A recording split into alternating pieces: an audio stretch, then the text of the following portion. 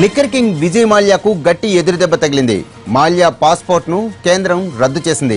విచారణకు రాకపోవడంతో మాల్యా పాస్పోర్ట్ను రద్దు చేయాలన్న ఈడీ విజ్ఞప్తితో కేంద్రం ఈ నిర్ణయం తీసుకుంది. మనీ లాండరింగ్ కేసులో ఈడీ ముందు విచారణకు విజయ్ మాల్యా మూడు సార్లు గైర్హాజరయ్యారు. మాల్యా ప్రస్తుతం లండన్లో ఉన్నారు.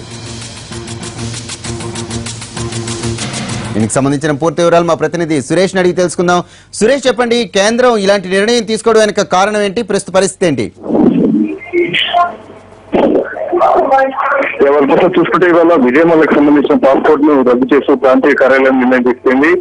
విజయ్ మల్య దాదాపుగా తొమ్మిది వేల కోట్లు బ్యాంకులకు రుణాలు అప్పుపడి ఉండగా తనకు చెల్లించాల్సినటువంటి విషయంపై కోర్టులో కేసు నడుస్తున్న సందర్భంలోనే ఆయన విదేశాలకు లండన్కు వెళ్ళిపోవడం జరిగింది. దీనిపైన కోర్టులో కూడా తొమ్మిది వేల కోట్ల కల్కాటియానికి సంబంధించి నాలుగు వేల కోట్లు చెల్లించేందుకు సిద్ధంగా ఉన్నానని చెప్పి తెలిసిన తెలియజేసినప్పటికీ కూడా సుప్రీంకోర్టులో బ్యాంకులు మాత్రం ఈ తొమ్మిది వేల కోట్ల చెల్లింపు పైన నాలుగు వేల కోట్లు చెల్లిస్తామంటే కుదరదనేటువంటి అభిప్రాయాన్ని వ్యక్తపరచడంతో సుప్రీంకోర్టు కూడా అంగీకరిస్తూ నిర్ణయాన్ని పక్కకు పెట్టింది.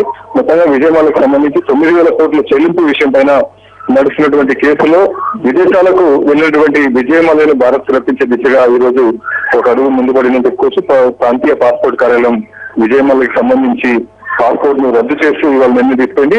ఇలాగే డిఫాల్టర్స్ అందరినీ సంబంధించినటువంటి డిఫాల్టర్స్ అందరినీ కూడా భవిష్యత్తులో వాళ్ళ పాస్పోర్ట్ అన్ని కూడా సీజ్ చేయాలన్నటువంటి డిమాండ్ కూడా వినిపిస్తుంది. దీనిపైన మొత్తంగా ఈ రోజు పాస్పోర్ట్ సీజ్ అవడం విషయం పైన ప్రస్తుతం అయితే బ్యాంకర్స్ కాస్త ఊరటించినప్పటికీ కూడా విజయ్ మాల్యను వెనక్కి రప్పించడం తొమ్మిది వేల కోట్లు చెల్లించడం విషయం పైన కేంద్రం ఒత్తిడితేనటువంటి వాదన కూడా ఇంకా బలంగా వినపడుతుంది. మరి ఏం జరుగుతుందో చూడాలి.